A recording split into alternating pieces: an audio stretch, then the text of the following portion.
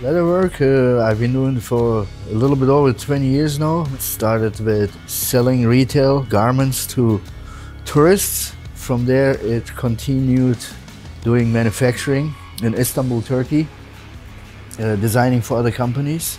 And then uh, in the end, it got to the point where uh, I wanted to do my own thing.